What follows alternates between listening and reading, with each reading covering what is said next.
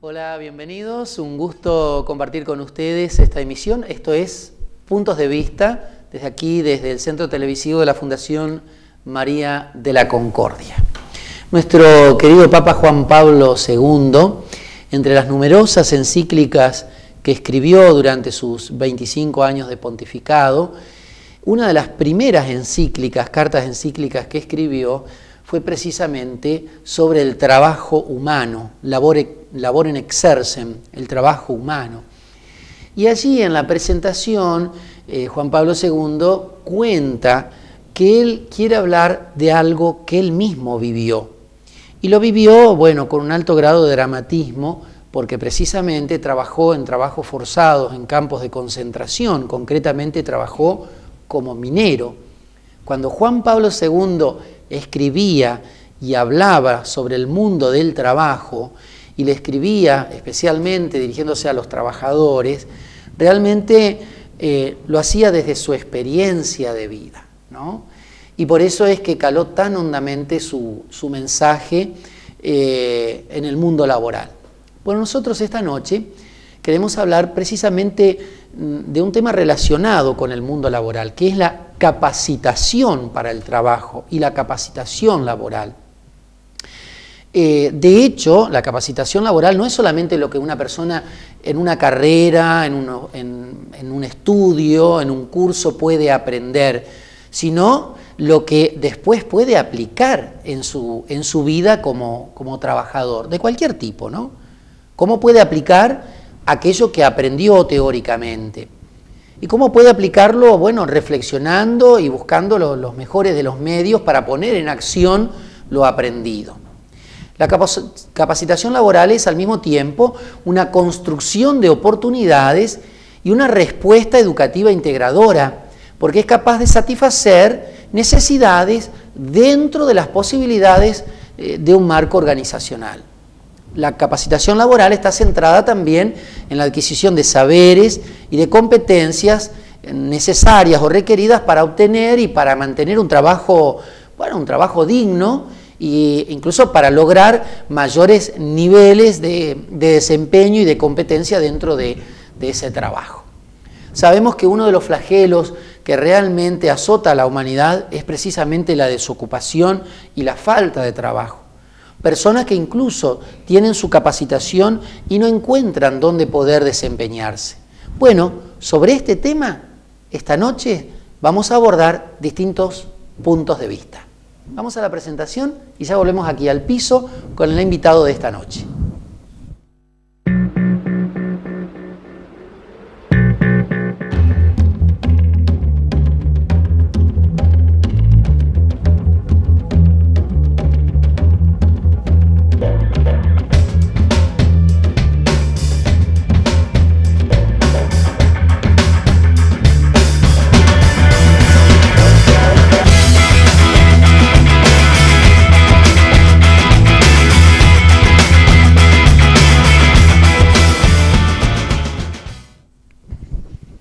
Bien, y aquí estamos entonces, decíamos, esto es puntos de vista para todos ustedes, compartiendo esta noche este tema que en realidad atañe a todas las personas, en mayor o, menor grado, en realidad a todas las personas eh, eh, les atañe este tema, el, del mundo laboral, concretamente la capacitación laboral. Por eso eh, hemos invitado especialmente esta noche a una licenciada en ciencias de la administración que nos va a acompañar bueno, en el desarrollo de, los temas e incluso en las entre las preguntas que pueden surgir de, entre ustedes, entre nuestra audiencia, eh, para profundizar más este, este tema. Está con nosotros la licenciada Andrea Orselliet, a quien le damos la bienvenida. Muy buenas noches, Andrea.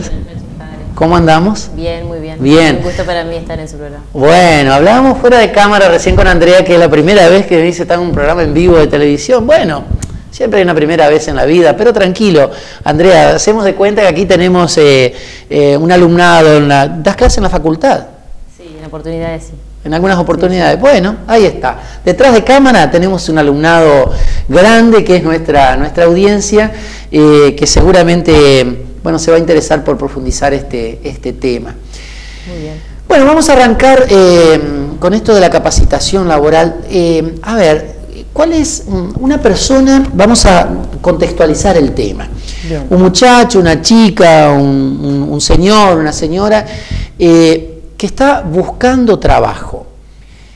¿Cuál es la fuente de información que tiene a mano o, o dónde puede recabar datos? Eh, para buscar trabajo, para, para, ver, digamos, las posibilidades laborales que hay en su pueblo o en su, o en su ciudad. Bueno, eh, antes que nada me gustaría decirle que nosotros, eh, yo formo parte, de una consultora que dentro de las actividades que hace realiza reclutamiento de personal. Entonces, este, somos parte de, la oferta laboral, o sea, somos el nexo entre la oferta laboral y la demanda laboral. Entre, por ejemplo, una empresa que necesita obreros y personas que buscan trabajo. Exacto. Eh, las empresas son quienes eh, demandan trabajo y los trabajadores son quienes ofrecen el trabajo. Bueno, nosotros somos el nexo entre ambas. Eh, las diferentes, los diferentes medios donde se publican puede ser el diario, puede ser la radio, puede ser, bueno, hoy internet, eh, los sitios web, eh, los diarios nacionales han hecho, por ejemplo, bolsas de trabajo, eh, áreas específicas dentro de sus páginas donde uno puede ingresar, donde puede acceder con palabras claves, buscando los sectores en los que está interesado, ya sea comercialización, ya sea administración, ya sea cuestiones técnicas como puede ser la parte rural, lo que puede ser eh, agronomía, lo que puede ser, este, mm, bueno, dentro de comercialización, por ejemplo, el área ventas, o sea, con palabras claves dentro de los sitios web, los diarios nacionales, eh, bueno, lo voy a nombrar, Clarín, La Nación, tienen eh, zona shop, se llaman, que son este, estas páginas donde directamente se puede acceder. Y en los medios locales, bueno, puntualmente el diario y la radio. Eh, Concordia utiliza mucho el diario, eh, la forma de publicar, nosotros publicamos en, los diarios, este, eh, en los dos diarios que, existen, porque es el lugar de más llegada, o sea, nosotros buscamos que la gente, que la oferta lo lea, entonces es el lugar de más llegada. De hecho, los diarios de de tiraje nacional, a veces uno encuentra varias páginas, ¿no es cierto? Eh, busco empleado o se los perfiles, digamos, generalmente presentan, ¿no es cierto?, que necesitan las empresas. Si usted recién viene aquí al canal, estaba haciendo zapping y se encontró con nosotros, esto es puntos de vista. Y si usted está buscando trabajo, con más razón es importante que nos acompañe en este programa porque de eso estamos hablando precisamente. Estamos aquí con la eh, licenciada en, Ciencias de la Administración, eh, Andrea Orselliet. Andrea, ¿las ONG puede ser que también tengan por ahí servicios así de bolsas de trabajo? Sí, eh, no, no se ve puntualmente acá en, Concordia, pero sí, hoy, es mucho lo que se genera en bolsas de trabajo. La página de la cooperativa también tiene una bolsa de trabajo donde se puede colgar se llama colgar el CV o, colgar el currículum, uno lo puede dejar. Publicar sería, colgar sería publicar el currículum. Lo, lo deja la misma bolsa de trabajo, hay una clave para ingresar, uno ingresa con esa clave, la página le da una clave y cuelga su, su CV, su currículum. Y después las empresas ingresan a esta base de datos y de ahí pueden extraer este, lo que les interesa de acuerdo a las áreas. Que... Eh, es el currículum vitae, ya vamos a hablar de eso porque tenemos tiempo, por supuesto, eh, pero vamos a hablar en qué consiste un currículum vitae, cómo se hace, qué elementos debe de contener. Eh, todos estos temas los vamos a ir desarrollando durante este programa Puntos de Vista. Quería agregar lo que decía Andrea, me estaba acordando, por ejemplo, una institución eclesial como es Cáritas, y cuando digo Cáritas, digo Cáritas en cualquiera de sus, de sus este, eh, filiales o, representaciones, ya sea a nivel parroquial, diocesano, pero sobre todo a nivel nacional, tiene en la página web un apartado de bolsa de trabajo, por ejemplo. Es un, organismo eclesial que, bueno, ofrece, digamos, esa, ese servicio Eh, y sería un poco un paralelo como una consultora, ¿no? Eh, en, una, en, una, expresión, por supuesto, mucho más acotada, más reducida, porque no hace más que, bueno, poner en contacto, digamos, la, la, oferta con la demanda o la demanda con la oferta, ¿no? Sí, puntualmente las empresas también se, presenta, se les presenta un problema a la hora de la búsqueda, ¿no? Porque eh, por eso nosotros hacemos el nexo, porque no es fácil encontrar el perfil eh, ideal de un colaborador. ¿no? A mí la palabra empleado no, no me gusta, prefiero este, hablar de colaboradores. Y para las empresas donde en todas las organizaciones el capital humano es lo fundamental. Este, yo soy una convencida de eso. Fui formada eh, de esa manera, que, lo principal de una organización es, el capital humano. Entonces, cuando elegimos a alguien para que nos acompañe en la ruta de, del trabajo diario, uno busca un perfil que a veces no es fácil encontrar, no es fácil encontrar al candidato ideal. Claro. Este, entonces las bolsas de trabajo facilitan mucho eso, la, ah, es una concentración de datos para después llegar a la persona idónea. ¿no? Volvemos a contextualizarnos en, este tema que estamos eh, abordando. ¿no? Eh, estoy buscando trabajo y encuentro una serie de, de ofertas en alguno de estos medios que mencionaba recién Andrea, puede ser por ejemplo diario, puede ser una bolsa de trabajo. Entonces, eh, la pregunta que le hago a Andrea ahora es, a ver, eh, ¿cómo identifico eh, si mis capacidades se adecúan a, esas demandas o a esos requerimientos laborales? Es decir, este, mi, persona podrá responder, mi, capacitación que tengo, podrá responder a, las demandas que, tiene esta empresa o las necesidades que tiene esta empresa o, esta pymes o, bueno, o este particular que está buscando un empleado o un colaborar, colaborador, como vos decías, Andrea. Bueno, eh, las empresas cuando arman sus llamados, eh, generalmente hay dos tipos de llamados. A veces hay llamados que son, eh, explican bien cuál es el perfil del candidato y hay otros llamados que explican poco de manera que se presente la mayor cantidad posible. Entonces algunos solamente ponen el sexo que buscan, si es hombre o mujer, si es indistinto, el rango de edad que necesitan, eh, partiendo siempre de, qué puesto buscan, ¿no? Esas son las características. Y qué formación requieren. Otros llamados a eso le agregan eh, qué perfil eh, en su actitud debe tener. Eh, la famosa palabra proactivo que tanto se usa en, las, en, las, este, los llamados, buscamos un candidato proactivo, buscamos un colaborador proactivo. indica todo una actitud de ir en pos de objetivos. Eso es lo que, iniciativa propia. Eso es lo que las empresas determinan.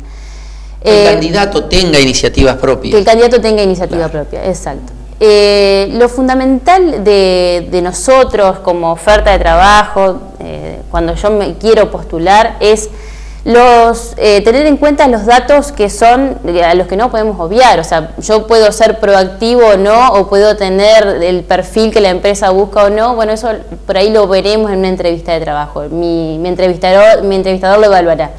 Pero mm, la edad, por ejemplo, no, no se puede obviar. O sea, si piden de 25 a 40 y yo tengo 45, y bueno, en medio que no, no me van a llamar. Eh, si piden algún, si, si de sexo es distinto, pero si piden masculino, y bueno, soy una mujer.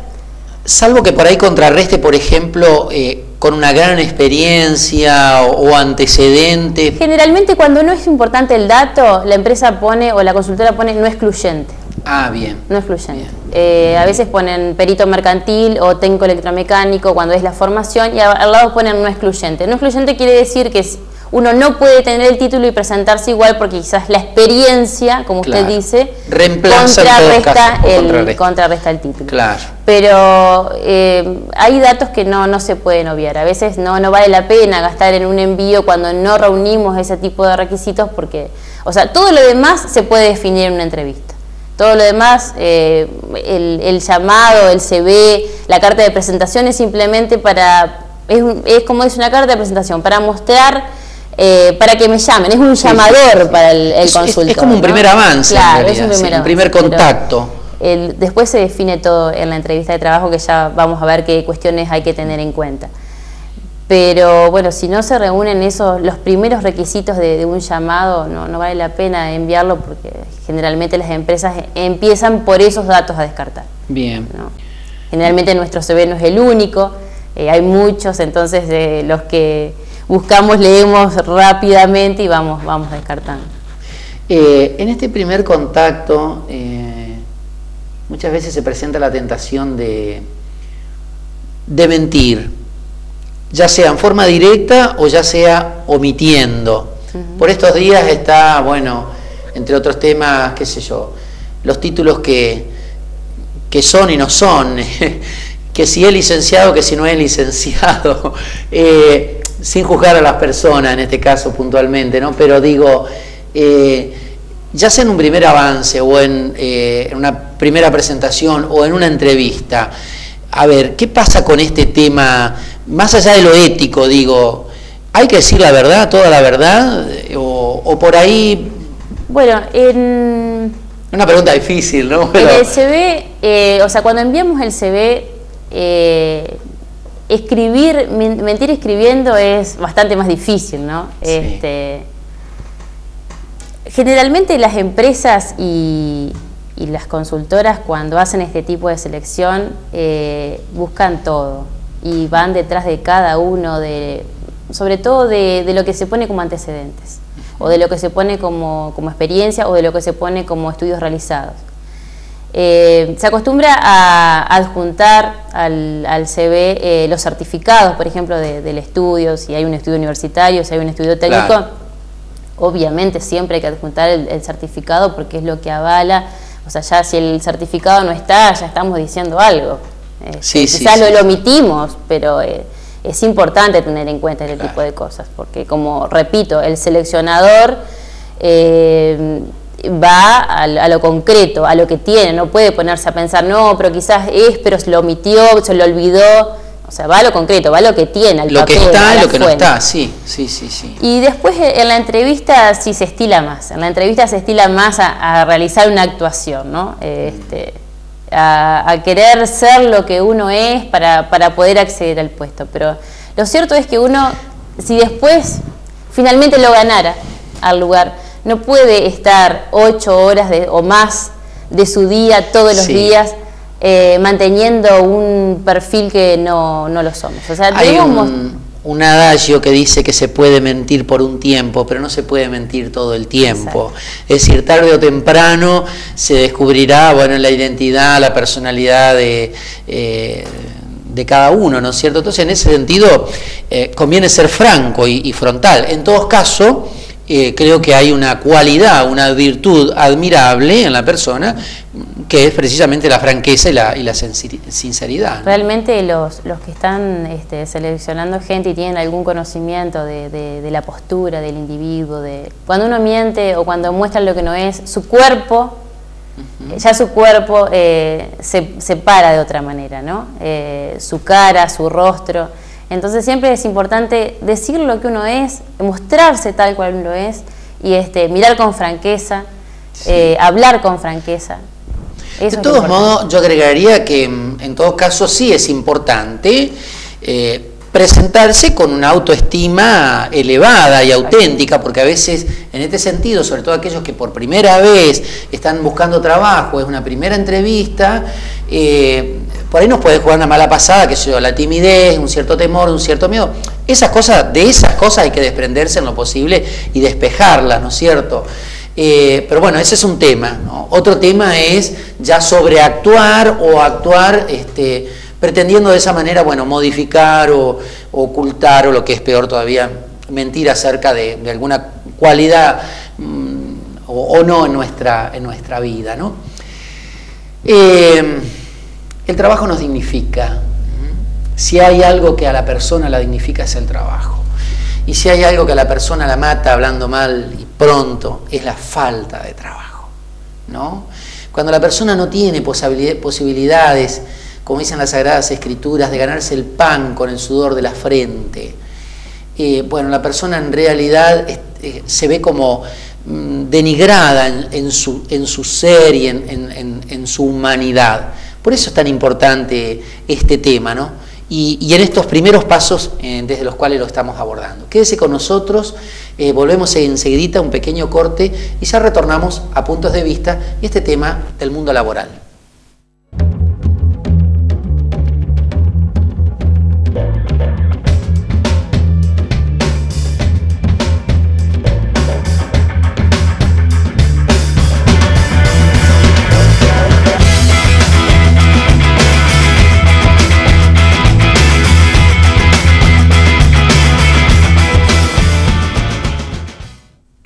Bien, estamos aquí en Puntos de Vista y esta noche estamos con la licenciada Andrea Orselliet, licenciada en Ciencias de la Administración. Eh, precisamente ella trabaja en una, en una, consultora y por eso es que nos está asesorando sobre, sobre este tema de la, de la, capacitación laboral. Y sobre todo es importante para aquellos que están buscando trabajo o recién se inician en el campo laboral, ya sea porque terminaron una capacitación, una carrera, este, una etapa de formación en su vida y bueno, quieren insertarse en el mundo laboral, eh, bueno, es importante tener en cuenta esto estos aspectos, estos puntos de vista que, estamos compartiendo esta noche. Andrea, ¿qué es eh, concretamente una carta de presentación? ¿Qué, ¿Y qué, elementos debe contener esa carta de presentación? ¿Qué no tenemos que olvidar en todos casos en una carta de presentación? Bueno, como dijimos en algún momento de la entrevista, la carta de presentación es eh, el llamador para el entrevistador, ¿no? Para la, búsqueda. O sea, eh, ahí yo estoy buscando que me, que me llamen. Que estar en la entrevista personal donde puedo desplegar eh, toda mi experiencia, todo lo que sé, eh, que me conozcan. Entonces, eh, la carta de presentación acompaña al currículum, no es el currículum mismo, lo acompaña. Es donde yo detallo mis intenciones. No la parte técnica, sino es más informal, donde yo puedo detallar ¿Por qué voy a esa búsqueda? ¿Por qué elijo ese llamado? Eh, ahí puedo decir, bueno, eh, yo elijo este llamado porque creo, me creo con condiciones para cubrir el puesto que ustedes buscan. Eh, me he desempeñado ligeramente, decir la experiencia que después en el CV voy a detallar. he adquirido estos conocimientos que puedo volcar a esta organización. En el caso de que no haya antecedentes previos laborales, por ejemplo, un recién egresado de la, de la universidad, puede mencionar, por ejemplo, pasantías. Sí, o eh, conseguir o tener la iniciativa, eh, las ganas eh, necesarias para llevar adelante ese puesto. o sea, ver cuáles son mis fortalezas frente al llamado. ¿Qué fortalezas puedo destacar en la carta de presentación? A veces las cartas de presentación tienen ser manuscritas. Sí, he visto en algunos avisos que piden ser manuscritas. Es que eso es, eh, habla de sí mismo precisamente, de uno mismo. Para el, claro, para el seleccionador eh, no es el dato, pero es un dato, es un dato más. Eh, a veces se evalúa mucho la letra, se evalúa la prolijidad, se evalúa el orden. O sea, la letra de un individuo dice muchas cosas de un individuo. Sí. Eh, no es determinante. O sea, si tengo una mala letra y me la piden manuscrita, no quiere decir que por mi mala letra no me van a llamar. Pero bueno, en, el... Pero son elementos que se van teniendo en cuenta. Que se van sumando al momento del proceso. Eh, en la experiencia que yo tengo, nunca hemos dejado de llamar a alguien por una carta manuscrita de una letra que no nos guste. Este. Pero eh, sí, se, evalúan algunas, algunas cuestiones en, en la letra. Por eso yo lo que aconsejo que eh, siempre sea prolija, más allá de la letra que nosotros tengamos, tiene que ser obviamente legible, tiene que ser prolija, tiene que tener una buena redacción.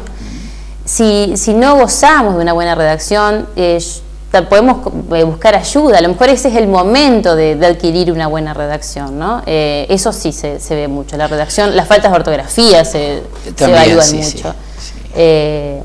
¿A quién, ¿A quién, va dirigida la carta de presentación? ¿Al, gerente de una empresa? al... gerente de la empresa. Más allá que haya una consultora de por medio o que haya este seleccionador de por medio. un subgerente de selección de personal, por ejemplo, igualmente va al gerente de la empresa. Sí, sí, a veces cuando se dice la referencia, dice remitir a señor gerente, remitir a señor gerente de personal, remitir a... Bueno, a él va dirigida la carta de presentación, a ese eh, impersonal, porque en realidad no sabemos quién es, pero consideramos que, que, es este, a quien representa la empresa. ¿no? Bien, esto es una carta de presentación. Obviamente la carta de presentación debe ir firmada de puño y letra, ¿no es cierto? Por supuesto, debe llevar fecha, debe llevar este encabezamiento que, usted me preguntaba, o sea, a quién va dirigida, el cuerpo, que, que es lo que expliqué anteriormente, y bueno, después firma y aclaración. Tampoco es algo muy extenso. No, no, debe ser este, Una, simple, dos páginas. debe ser simple. Lo que permite la carta de presentación es la informalidad que el CV no permite. El CV es eh, más, técnico, exacto, es más técnico. Entonces, la carta de presentación permite esta informalidad. Eh, por eso siempre se la pide, porque en la informalidad uno, repito, ve algunas cosas del ser humano que no lo puede ver en el CV. Esto es la carta de presentación y decía recién la licenciada Andrea que no es lo mismo que el CV o el currículum vitae. Entonces, vamos a ver ahora. A continuación de la carta de presentación va el currículum vitae que es más técnico y entonces eh, consideramos qué elementos eh, puede o debe contener un currículum vitae. Bien, eh, el currículum lo que hace es presentar potencialmente al candidato. Es decir, eh, lo que se detalla en el CV es todas las aptitudes que nosotros tenemos para el puesto para el cual nos postulamos. Eh, lo primero que se pone o que se coloca en el CV es los datos personales, ¿no? Eh, llámese apellido y nombre, el DNI muchas veces, la fecha de nacimiento, la dirección, el teléfono. Primero los datos personales, si estoy casado, si soy soltero, si tengo hijos, eso es muy importante ponerlo. Eh, sobre todo en las mujeres, cuando se postula una mujer es importante poner, eso es un dato que muchas veces eh, las mujeres obviamos, nuestros hijos, y después es más difícil decirlo en la entrevista. ¿Por qué es importante en la, selección del, personal? Eh, me, me, corro un poquito de tema. ¿Por qué es importante este detalle de la familia y los hijos? Digo, porque por ahí hay empresas que, de pronto, eh, personas que tienen muchos hijos no, no quieren por la carga salarial que después eh, tendrían en el, en el bueno, en, en, las asignaciones. Bueno, eh, sí, las cargas, eh, en realidad las cargas salariales las abona el Estado, en realidad no, no son parte del costo laboral de las empresas, pero la verdad que uno cuando ingresa a un puesto de trabajo, ingresa con todo su, su patrimonio personal. Eso es seguro. De alguna manera. Y, y, las empresas cada vez menos, gracias a Dios cada vez menos, pero los hijos eh, y la familia para la mujer es un detonante a la hora de, de competir en un puesto laboral. Porque porque una mujer, bueno, si, tiene, si queda embarazada, si tiene familia, se ausenta tres meses, este, puede tener licencias. Eh, gracias a Dios las mujeres estamos en el mercado laboral demostrando que más allá de este, nuestras necesidades humanas y fisiológicas de ser madres, de formar una familia y que todo eso puede restar tiempo de trabajo, eh, nuestras capacidades contrarrestan esto. Y bueno, el, mundo laboral, por suerte, lo está, lo está valorando. Lo está valorando, pero todavía existe eh, en un mismo, para un mismo puesto, eh, el, tema de los hijos y de la familia a veces pesa, a veces no, pero a veces pesa. Bueno, no se debe omitir, decíamos esto. Eh, cómo está compuesta la familia, ¿no? los hijos, soltero, casado, cuántos hijos. Eh, el currículum vitae es, lo más técnico y es como, digamos así, la, información certificada de lo que esa persona, bueno, es y, tiene en cuanto a capacitación. ¿Qué otros elementos tiene el currículum vitae? Bueno, después de los datos personales, lo que siguen son eh, la formación que tenemos, ¿no? ¿Qué estudios hemos hecho? si tenemos el secundario completo, si hemos hecho otros estudios de idiomas, si hemos hecho estudios de informática, si tenemos estudios universitarios, si tenemos estudios técnicos. Eh, si el llamado pide un estudio eh, determinado, llámese perito mercantil, llámese técnico electromecánico, llámese una formación técnica terciaria o universitaria superior, bueno, después de la formación de decir que uno es perito mercantil, lo que se debe decir es, la formación, o sea, resaltar que uno tiene eh, la característica que el llamado está pidiendo. Eh, como dije hoy, debe adjuntarse los certificados que avalen todo este tipo de estudios. Andrea, perdón, indudablemente que una persona que ha hecho sus estudios universitarios, ha hecho sus estudios secundarios y primarios, también la certificación de estudios primarios y secundarios. Se presenta la última certificación, o sea, ah, se presenta el título de, si hay un, título de grado, se presenta el título de grado. Se presenta otra certificación si hay un título de grado y de posgrado, si hay un estudio universitario y además hay un posgrado. Y se presentan las certificaciones de títulos anexos, idiomas, informática, eso es importante porque ahí también se suele eh, mentir de alguna manera. Este, y las empresas, por ejemplo, que hay empresas que requieren conocimientos de inglés. Bueno, ¿qué, qué conocimiento de inglés tengo? ¿A dónde he llegado con mi idioma? ¿no? Eso es importante. Eso es importante. Sí. a lo mejor fue un, inglés elemental o básico que se adquirió en la secundaria, pero que de pronto no, no me es suficiente para el desempeño en una empresa donde requiere el dominio de o, el manejo de los dos idiomas. Bueno, hoy las empresas en la región están utilizando mucho la parte de idiomas porque por la exportación, este, por la conexión que tienen con el mercado externo. Entonces, si se está pidiendo estudio de idiomas, es necesario hacerle saber a la empresa que, desea contratarme o para la que me postulo hasta dónde llega mi inglés.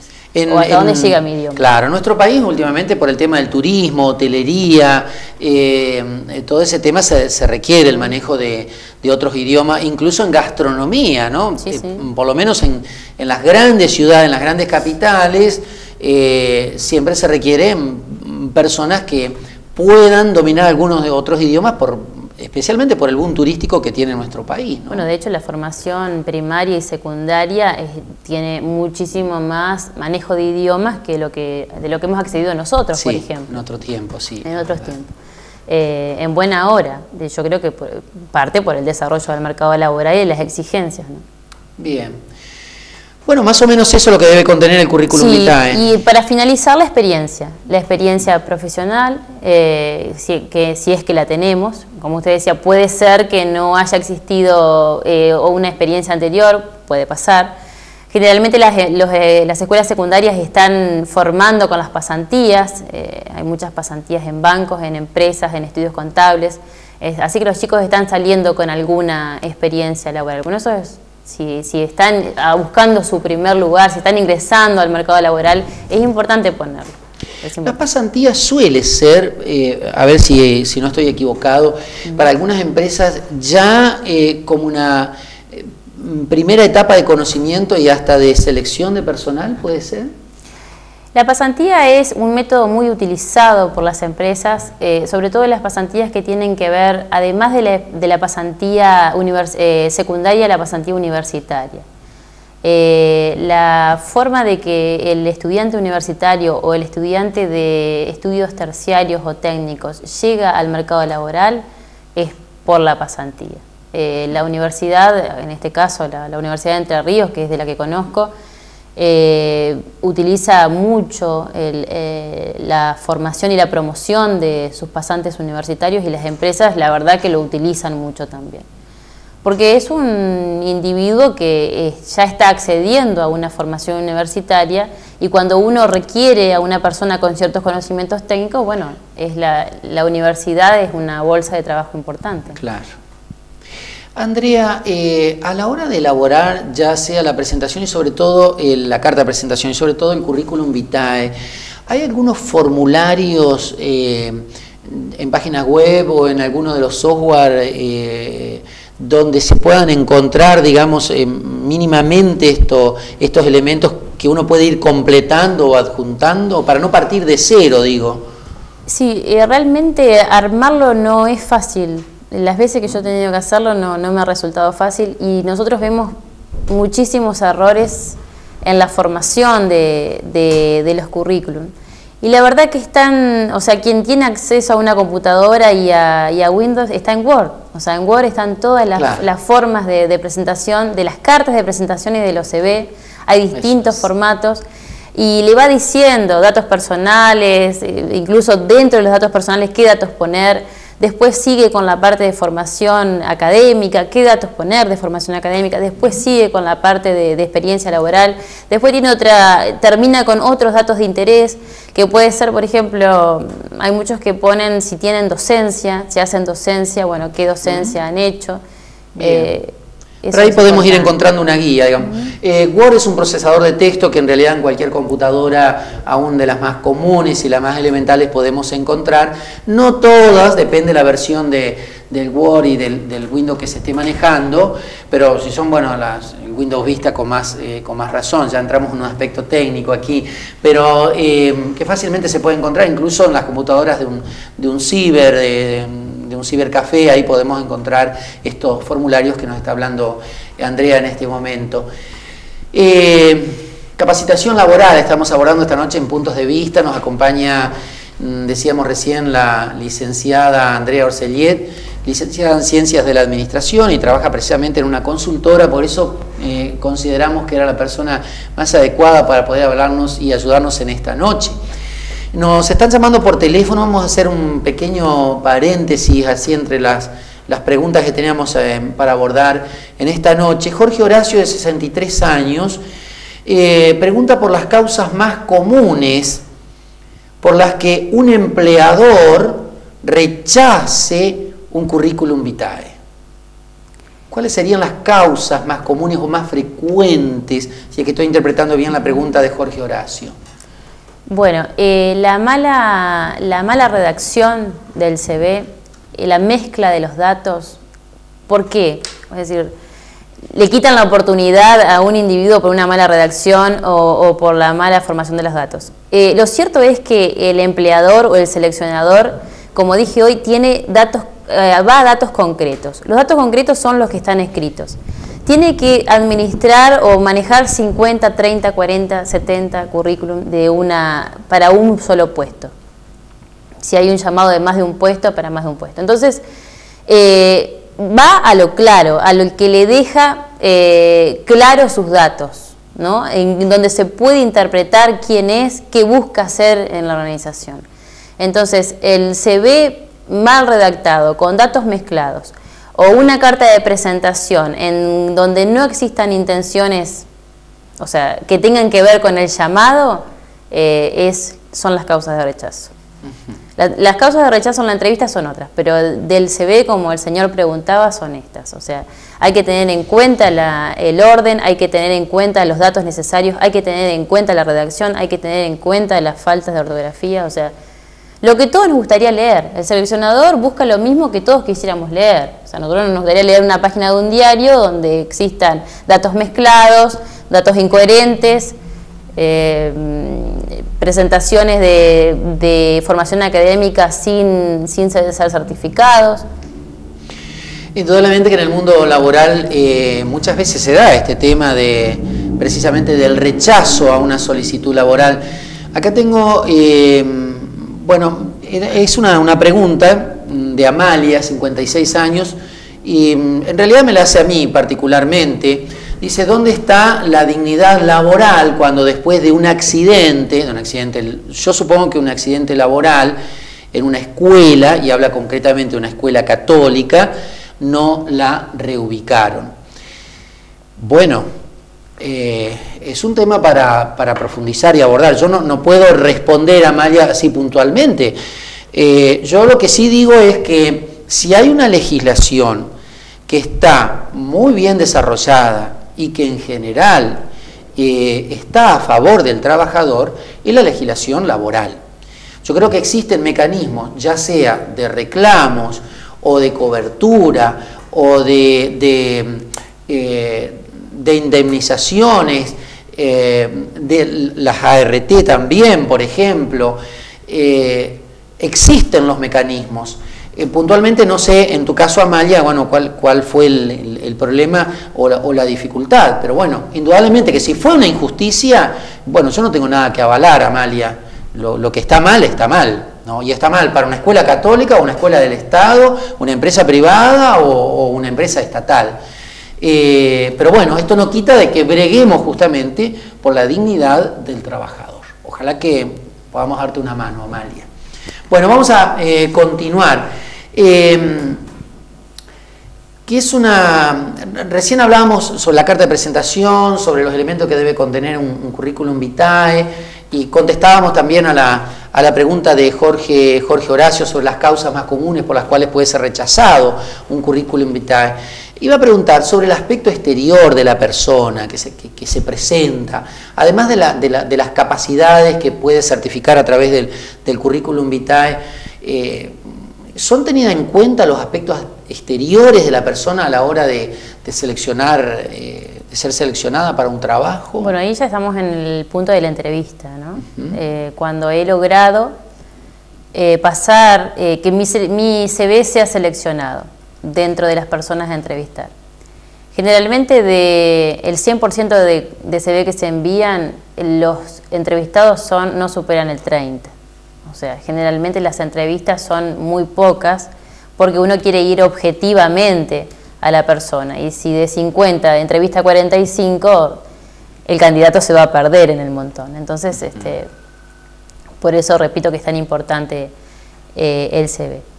Al momento de la presentación eh, de la persona es muy importante la parte exterior, porque es el envase del producto. Claro. Es el envase del producto. Eh, nosotros tenemos que vernos, eh, queda un poco, no queda muy bien decirlo, pero eh, nos estamos vendiendo ante mm. el empleador, nos estamos vendiendo ante el seleccionador. Yo estoy buscando hacer la diferencia, demostrar por qué yo soy diferente o soy el candidato idóneo para el puesto respecto de los demás que también están esperando el mismo puesto. el aspecto exterior es lo primero que el empleador o el seleccionador ve. Entonces, sin, o sea, lo, poco y lo mucho nos juega en contra. Tiene que ser lo justo. Sí. Estar prolijos, estar limpios, estar bien peinados, estar eh, sobrios, eh, no conviene llevar vestimenta a la moda o jean, o sea, el hombre tiene que estar de camisa, un suéter, si, si, el puesto es para un puesto administrativo conviene ir presentado con, por lo menos con corbata, con camisa y corbata. La mujer, bueno, este, acorde con un pantalón, un suéter, una camisita, o sea, el jean solamente si el trabajo es demasiado informal, si el puesto es demasiado informal, pero el jean no, no es recomendable para, para la entrevista. Eh, la postura frente a la entrevista, o sea, como dijimos hoy, siempre con franqueza, siempre mirando al seleccionador o al empleador eh, a los ojos, o sea, ver que nosotros somos francos en lo que estamos diciendo, ver que sabemos de lo que estamos hablando, ver que no mentimos en lo que decimos. Eso es, sumamente importante. Todas esas actitudes eh, el otro lo evalúa. Es importante ¿no? tener presente, parece un aspecto de, poca importancia, sin embargo lo tienen porque eh, creo que en esto Andrea es clara, es decir, ni tenemos que ir a dar lástima para poder conseguir un trabajo, ni tampoco tenemos que ir a hacer alardes de, grandeza en, nuestro aspecto exterior, sino, bueno, lo más adecuado a la, a la, circunstancia. Indudablemente que hay, hay algunas cosas que son piso y básica, como es... Eh, una, presentación con una, con una vestimenta eh, adecuada. Yo diría incluso hasta la postura física, ¿no? Es decir, tenemos desde la persona que va y se tira sobre el escritorio, ¿no? Hasta aquel que se recuesta en la silla y, digamos, con, un aire como... en realidad son posturas... Sí, generalmente se... O sea, uno no puede evitar los nervios. Sí. Los nervios. Sí. Eh, si los nervios los tengo yo hoy acá, que soy seleccionador en una entrevista, cuanto más mis seleccionados, ¿no? Pero eh, uno no puede evitar los nervios. Pero yo creo que la franqueza eh, nos da mucha tranquilidad al momento de hacerlo.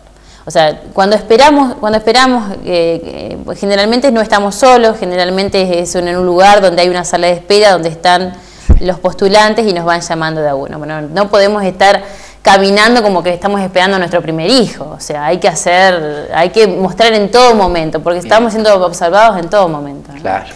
Eh, yo le voy a preguntar a Andrea enseguida, cuando volvamos, vamos a hacer un pequeño corte, sobre el tema de los tatuajes. Hoy es muy común en nuestros jóvenes eh, los tatuajes en el cuerpo, ¿no? O los piercing, eh, en fin. ¿Qué pasa con este tema? Los tatuajes sobre todo a la vista. Tengo entendido que hay empresas que bueno, que tatuajes en la mano o en el rostro o en el cuello, los que, que están expuestos, por ahí tienen cierta reticencia. Ahora nos va a contestar Andrea, quédese con nosotros, que ya volvemos.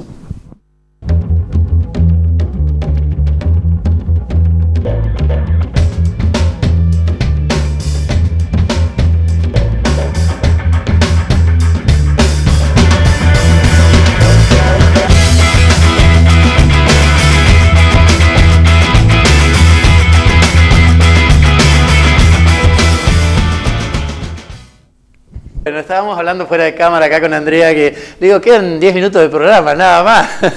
Este, y dice, ya me gustó, nos quedamos.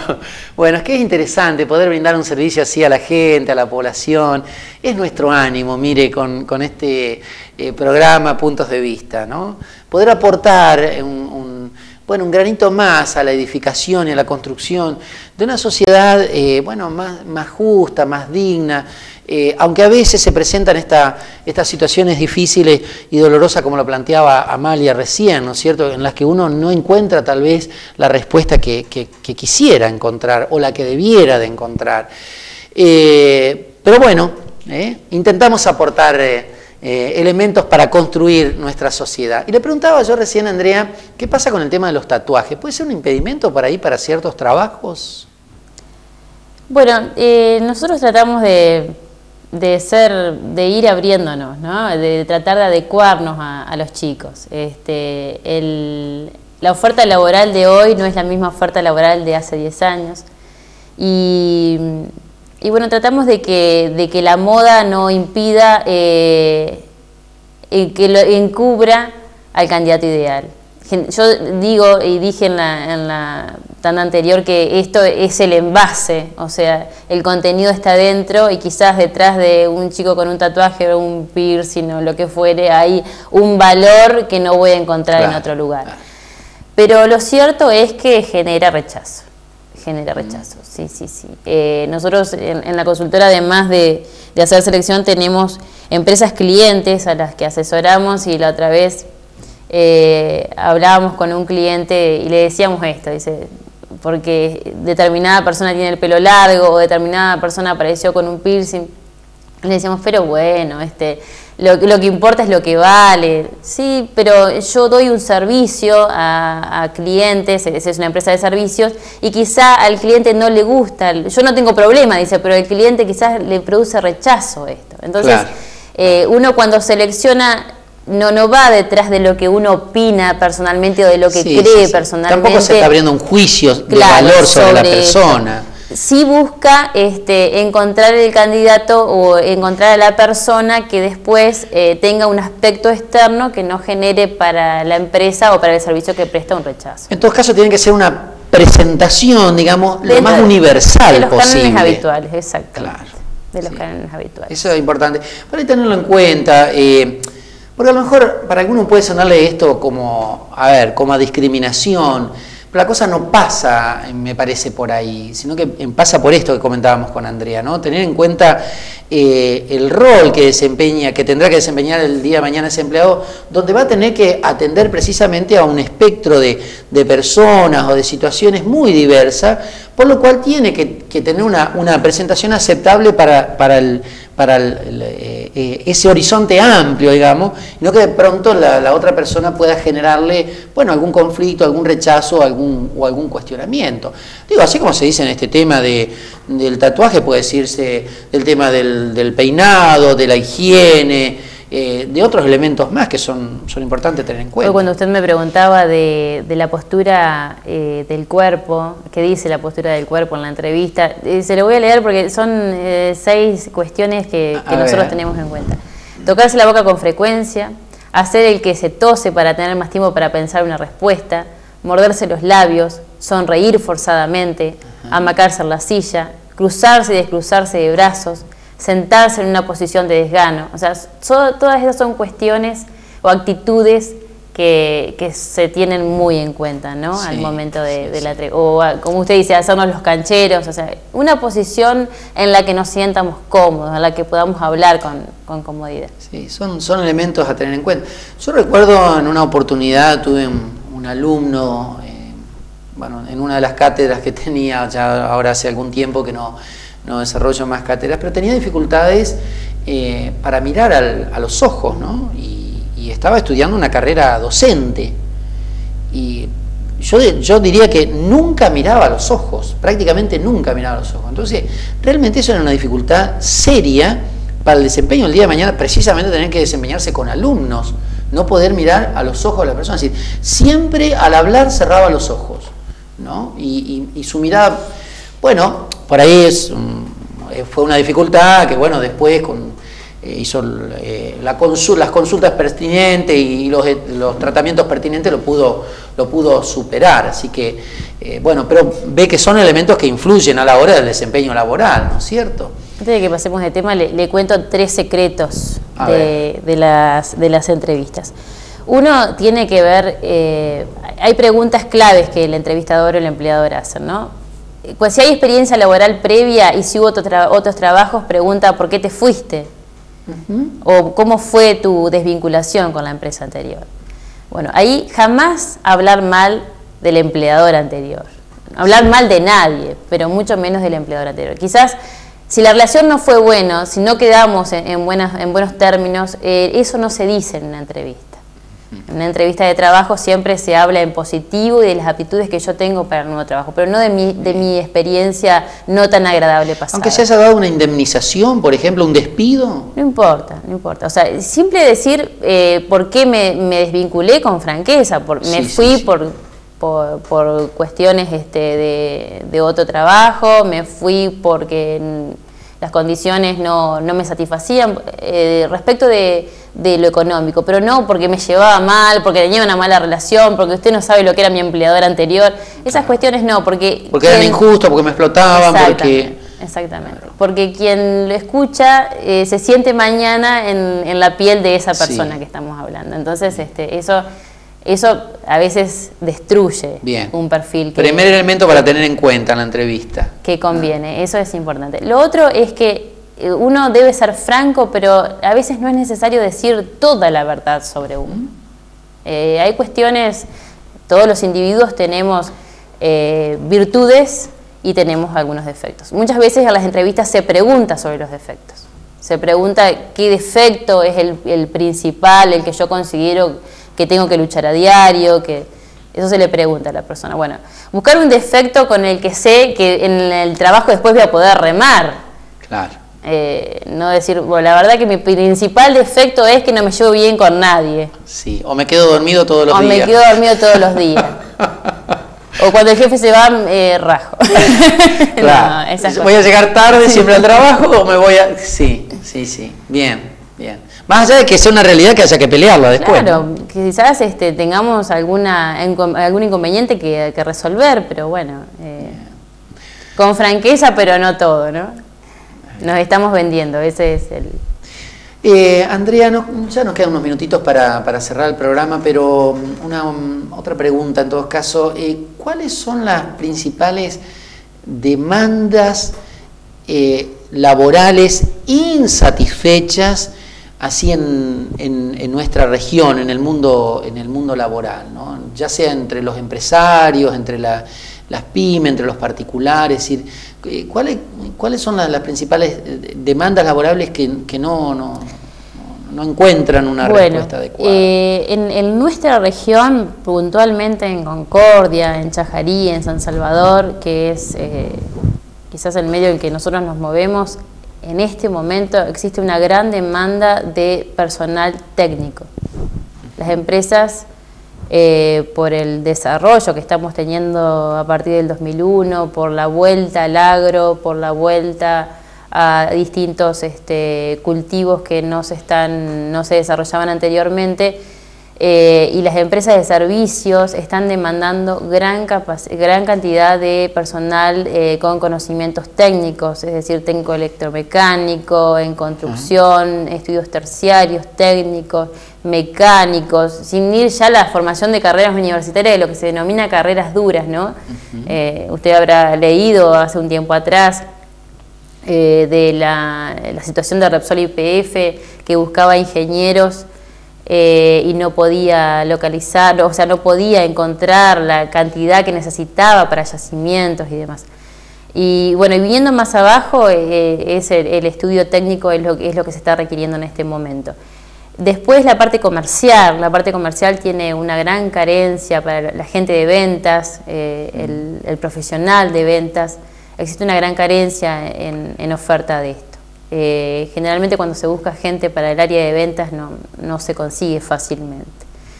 Eh, profesionales idóneos, con ganas y, con perfil ¿no? para la venta. La venta ¿Por falta de, de, capacitación? Por falta de capacitación. ¿O porque creció la demanda? Eh, por ambas cosas, por falta de capacitación, porque la demanda ha crecido y porque eh, son eh, puestos o son capacidades que no se adquieren fácilmente. El profesional de ventas es un individuo que requiere de, cierto perfil que no se encuentra en cualquier persona. No, no todos tenemos el arte de la venta, de salir a ofrecer un producto, colocarlo y dejarlo. Entonces es lo que se demanda. Bueno, Andrea, hemos llegado al final de, del programa y en la producción tienen el teléfono eh, de la consultora por si, bueno, algunos de los televidentes eh, quieren acercarse después, eh, posteriormente, o, requerir mayor información, con mucho gusto se lo vamos a, ofrecer. Así que gracias por, por acompañarnos, Andrea. A usted, fue un gusto. Bueno, y a todos ustedes. Bueno, comenzar o continuar por, por ocuparnos y preocuparnos por este tema, más que preocuparnos por ocuparnos de este tema, tener en cuenta estos aspectos. Eh, por ahí precisamente eh, la oferta y la demanda se, bueno, se desequilibra, ¿no? y, y entonces no podemos acceder fácil o rápidamente eh, a un determinado tipo de trabajo que nos gusta, en el cual nos gustaría desempeñarnos. ¿no? Pero pensar también en nuestras propias fortalezas y trabajar nuestras debilidades, tenerlas presentes, tenerlas en cuenta. Esto es muy importante. Asumirlo y asumirlo con espíritu bueno, de superación también. ¿Por qué no acercarnos a profesionales que me puedan ayudar o asesorar tanto para quienes buscan empleados como para quienes buscan un empleo? Eh, el recurrir precisamente a una consultora es muy importante, o a un espacio, a un lugar donde podemos bueno, poner nuestras capacidades en un espacio, ya sean en el ciberespacio, ya sea en una bolsa de trabajo o, en una publicación, bueno, son todos medios, recursos que en general están a nuestro alcance. Tenemos que usarlos sencillamente y si no sabemos cómo hacerlo, pedir ayuda. Ojalá que Puntos de Vista de esta noche sea un aporte más para eh, precisamente esto, la dignidad de la persona eh, que se realiza con el trabajo. Señoras, señores, hasta el próximo programa y muchas gracias por acompañarnos.